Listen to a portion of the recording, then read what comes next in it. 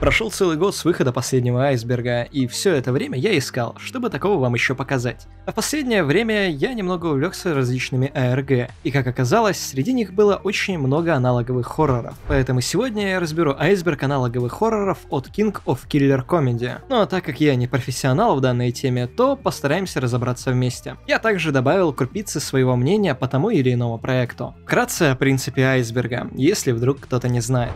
На верхушке у нас самые известные вещи, а чем ниже мы спускаемся, тем более странные и малоизвестные вещи и темы будем обнаруживать. И сразу же предупрежу, в этом айсберге я не буду разбирать фильмы, связанные с аналоговыми хоррорами. Речь будет вестись исключительно о веб-проектах. А еще я постараюсь убрать все то, что было закрыто после пары эпизодов, ибо не вижу смысла об этом говорить.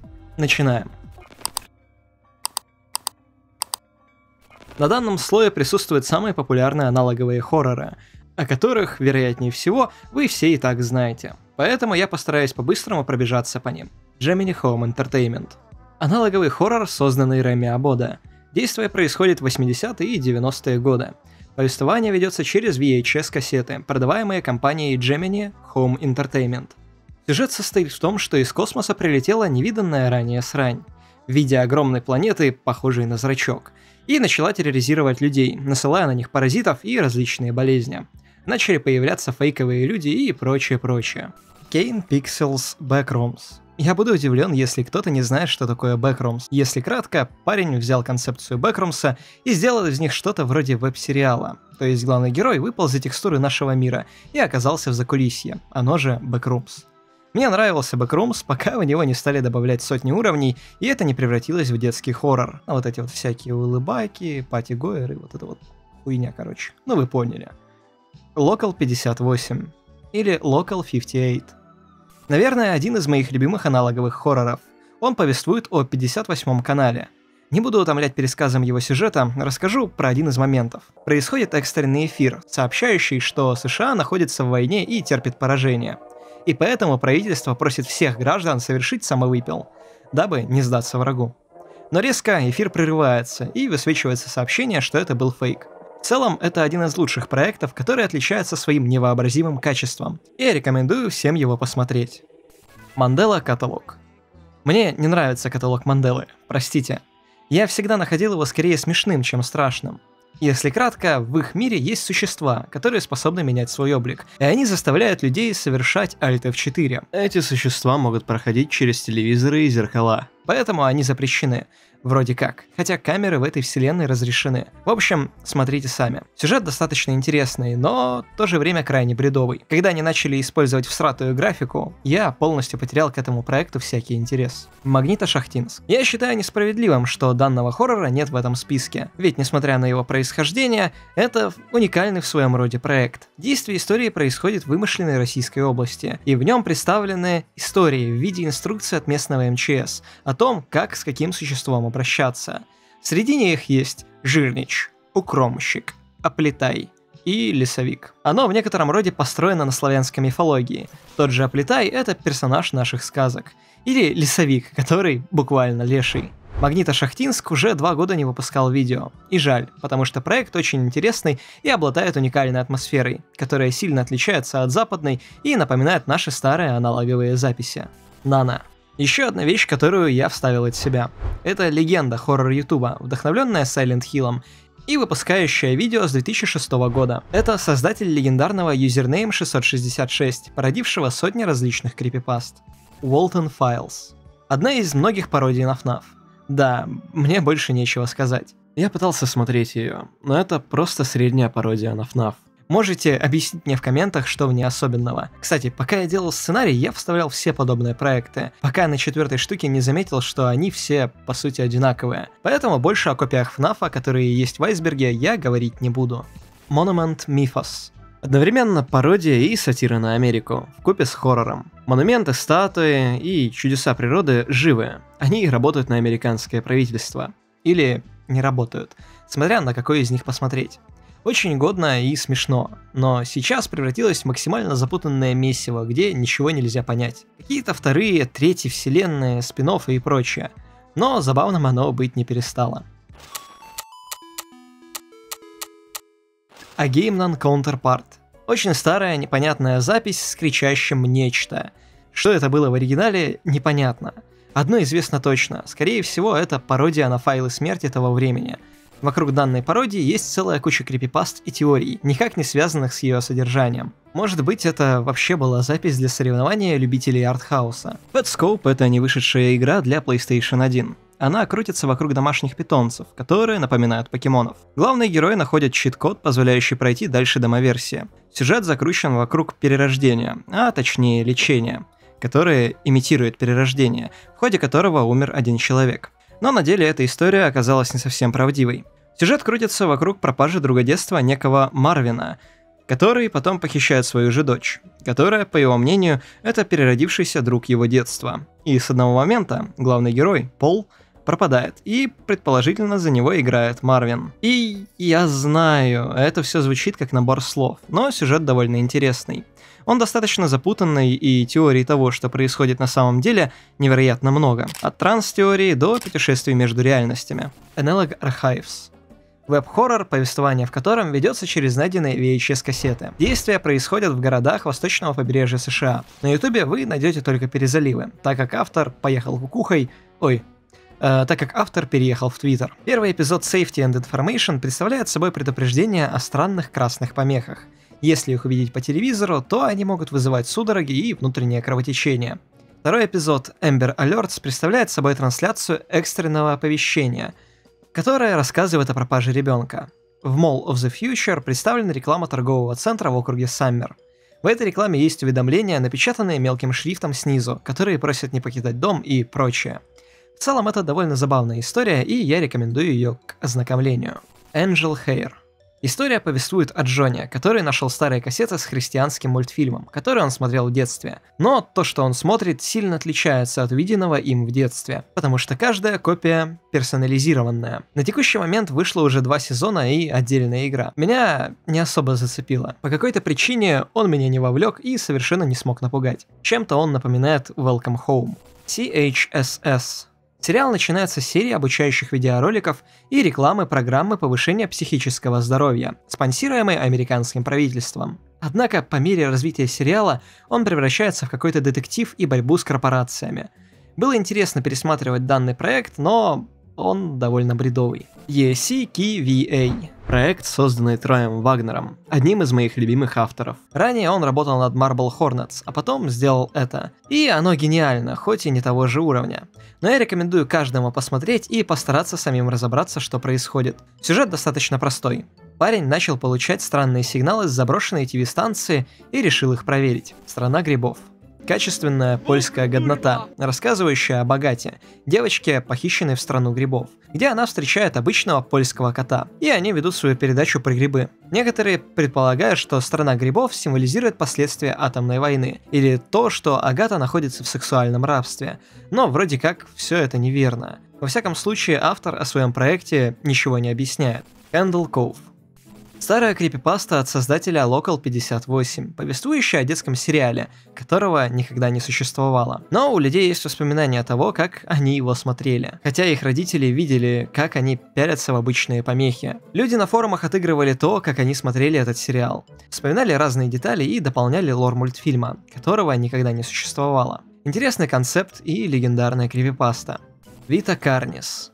Аналоговый хоррор, созданный канадцем, так что он автоматически становится ёбнутым. Страшнее вышло бы только будь его создатель финном. Повествует о том, как люди смогли подчинить себе мясных существ, которые неожиданно начали появляться в районе 30-х годов. Эти существа могут быть безобидными и помогать, скажем, в сельском хозяйстве, а могут убивать людей, зависит от вида. Американское правительство знает о вреде от мясных существ, но не помогает людям. В общем, как обычно. The Man in the Suit. Аналоговый хоррор, который с первых минут заставил меня ржать, потому что он основан на Годзилле. Если кратко, действия ведутся при съемке первого фильма о Годзилле. Человек, надевший костюм огромной ящерицы, резко начинает его любить и отказывается его снять. А потом сам становится частью костюма. И все это время на фоне играет всратая музыка из первого фильма о Годзилле. Катастроф Крау. Несуществующая игра для Nintendo 64. Все началось с видео на канале Адама Бутчера, где он рассказывает о несуществующей игре, почему ее выход откладывали, а в конечном счете просто отменили. Пока Адам не нашел одну из копий игры. Чем-то игра напоминает Pet Scope, но немного проработаннее и реалистичнее. Если кратко, это история про Лоренца, создателя игры, и его умершей дочери. EAS Scenarios. EAS — это система экстренного оповещения, которая срабатывает при ядерной бомбардировке страны, сильном землетрясении или чем-нибудь в таком духе. EAS Scenarios — это пародия на подобное оповещение, как пример, объявления в случае зомби-апокалипсиса и прочее. Подобных видео на ютубе полно, и все они разнятся по качеству. Как пример, есть EAS тревоги для случаев прорыва SCP-объектов и так далее. NNN Special Broadcast. This is the time for. Нет, это не про No Not November. Просто старая японская легенда. История гласит, что однажды вечером мужчина пошел включить телевизор и не обнаружил ничего, кроме помех. Внезапно на экране появились цветные полосы. Далее следует изображение какой-то фабрики и прокручивающийся список имен. Это продолжалось несколько минут, прежде чем закончиться текстом, в котором говорилось что-то вроде «это для будущего» или «это завтрашние жертвы». Трансляция внезапно прекратилась и снова появились помехи. NOC плюс 10 аналоговый хоррор и АРГ, вышедшие в 2015 году. Зрителю даются странные головоломки, при решении которых ему дают еще видео, созданные, по всей видимости, не человеком. Буду честен, мне так и не удалось понять этот хоррор. Но по неведомой мне причине он меня достаточно сильно напугал. Все события происходят вокруг одного научного комплекса, где в ходе катастрофы погибли все, кроме искусственного интеллекта, который испамит зашифрованными видео. Skycorp. Почему это в данном айсберге? Я бы даже это хоррором не назвал. Скорее пародия на рекламу 90-х и 80-х. Они забавные, и я бы порекомендовал их к просмотру. Но, как мне кажется, им не место в этом айсберге.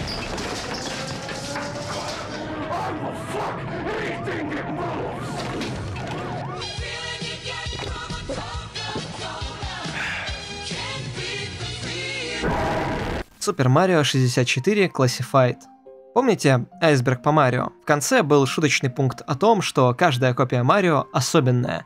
Ну, это по сути оно и есть, но в виде аналогового хоррора. Я бы сказал, что это более или менее обычная экзе крипипаста, но с уникальной атмосферой и способная неплохо напугать. Surreal Broadcast аналоговый хоррор, повествующий о вымышленном округе, чем-то похожий на Local 58, но намного хуже. Вдохновение 58 каналом очень видно. Настолько, что я сначала подумал, что это спин но оказалось, что это не так. Рассказывает о различных страшных вещах в округе и странных смертях людей. The Macabre Experiments. Этот проект я вижу впервые, но сейчас он меня пиздец как заинтересовал. В общем, это аналоговый хоррор завязан на крипипастах. А так как крипипасты я люблю, я решил разобраться в чем суть. Есть лаборатория, где проводят эксперименты, которые приводят к появлению крипипаст. И все это происходит через каких-то микробов, которые способны передаваться даже через телевидение.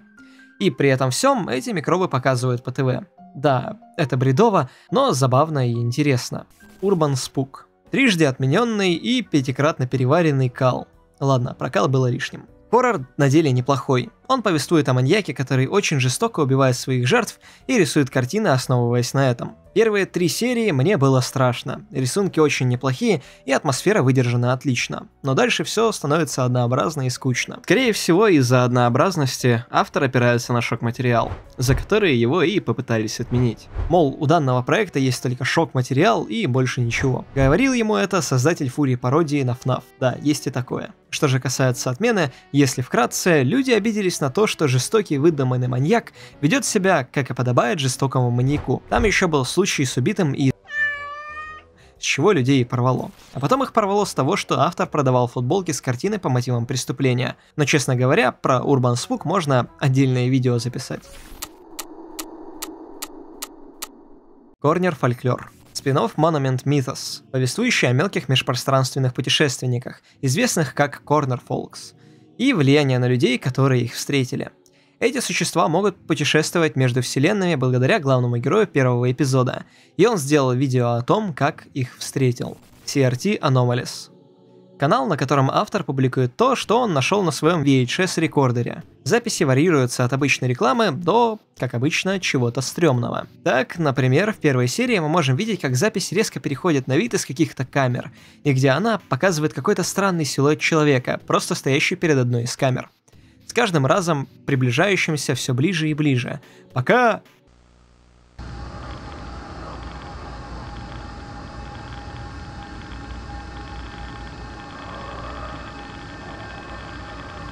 В целом данный проект очень годный и достаточно короткий.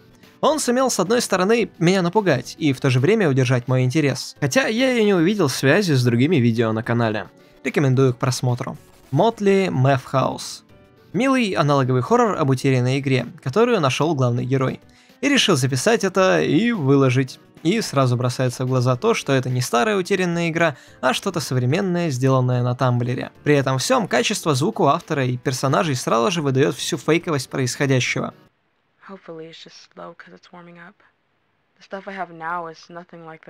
Oh, hey! This is Tidbit. He's our playful little helper. Я не могу погрузиться в эту вселенную или атмосферу хоррора, они, кажется, старались быть похожи на Welcome Home, но моментально проваливаются из-за технических аспектов. Crystal View Records. А вот и заброшенный проект, который мы грозились не осматривать. Он насчитывает всего две серии.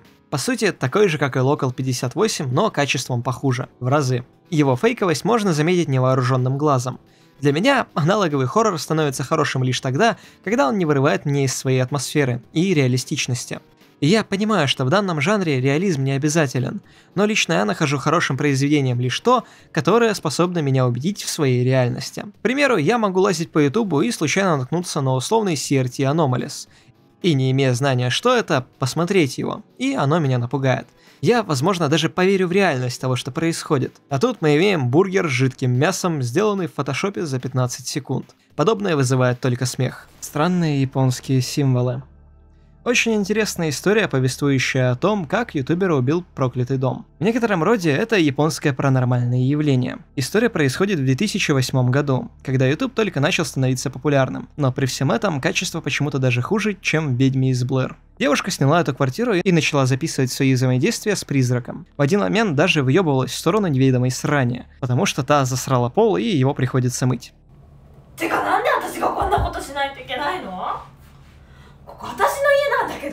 и выебывается на агента, который не рекомендовал покупать эту квартиру. В конечном итоге главную героиню убивают, но это было забавно. Jurassic Paro. Found Footage Outpost B.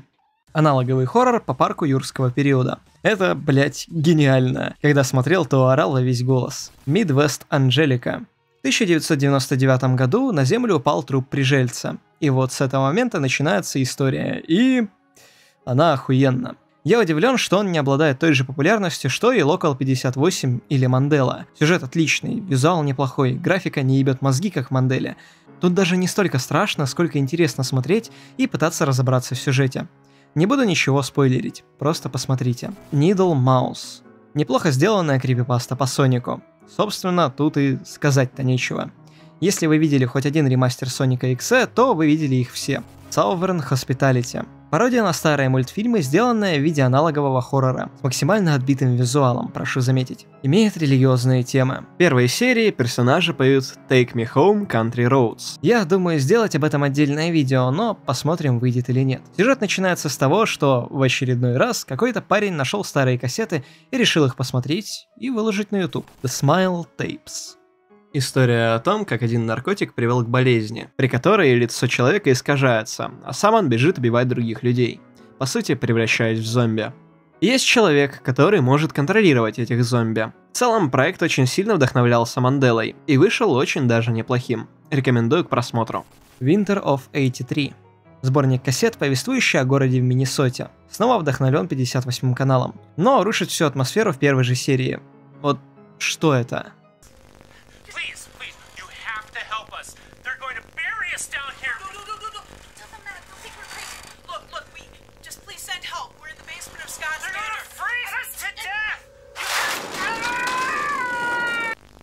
Это похоже на вставку из какого-то комедийного шоу. British Home Entertainment. Пародия на Gemini Home Entertainment, но британская, а значит миллион раз хуже. Все мы знаем, чего бы ни касался британец, это превращается либо в говно, либо в колонию. В некотором роде данный аналоговый хоррор пародирует британское общество и высмеивает стереотипы. Также оно сильно высмеивает остальные аналоговые хорроры. Там есть отсылка на монументы, только вместо Линкольна там Уинстон Черчилль. Или каталог Манделы. В первой же серии жителям Шотландии предлагают съебать из Шотландии. И я неплохо так с этого проорал. Москвадинская область.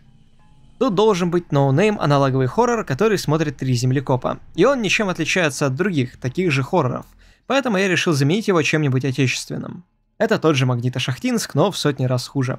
Опять история про выдуманную область с МЧС, дающими инструкции, что делать с теми или иными стрёмными ебаками. Но даже являясь копиркой Магнитошахтинска, она умудряется быть хуже визуально. Хотя в первом был настолько примитивный визуал, что я без понятия, как они умудрились это сделать. Мало того, что звук ужасен, так все еще и озвучено говорилкой.